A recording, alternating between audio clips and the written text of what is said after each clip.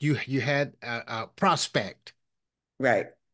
that scheduled a call with you. Yes.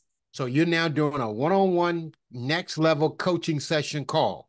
Exactly. And on this call, what happened? On the call, I listened to her tell me all about her sons. I just listened, listened, listened. I took notes, even though I had my note taker on, I took notes, listened, and then I gave her some suggestions of what she could do.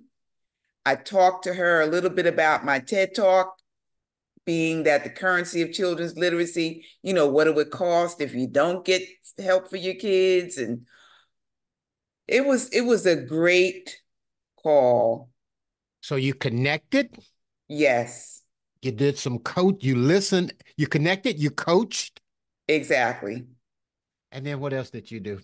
And then I closed.